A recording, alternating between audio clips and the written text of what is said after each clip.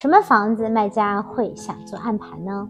首先呢，第一呢就是非常非常贵的豪宅，上千万、几千万加币的这个豪宅。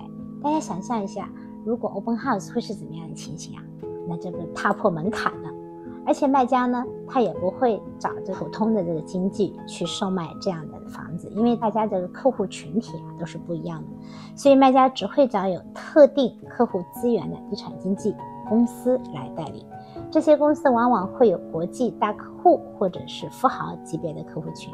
其实啊，越往上走，大家拼的就是这个资源。你有这个资源，你就能赚到这个钱。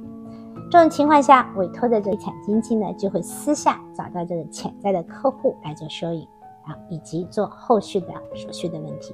这里面还有一点，就是这种富豪级的这些房子，有时候人家也要考虑到他的隐私，所以他一般不愿意在网上挂牌出售。第二种呢，就是已经有买家看上的房子。一般呢，就是这个新盘上市啊，都要做一些准备工作，做一些这个布置啊、拍照、推广等等。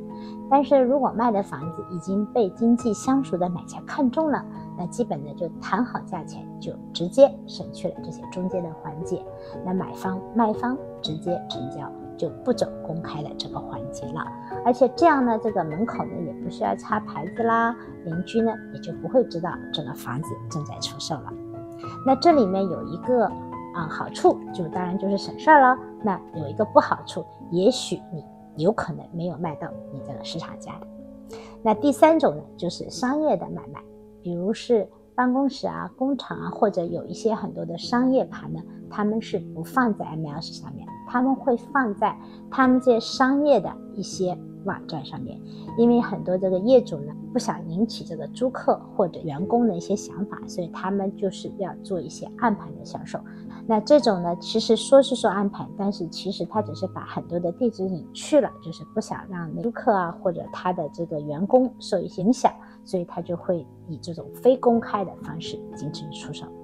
那你建议入手暗盘吗？嗯，我其实不是那么建议，就是买家在不了解市场情况的下直接去买暗盘。有时候买家有个心理，就觉得好像这暗盘呐，就是外面人不知道，只是让他知道的。其实有时候也是个噱头。所以从买家的角度来讲，不管是暗盘和明盘，你都要做好功课，而不要被人忽悠了。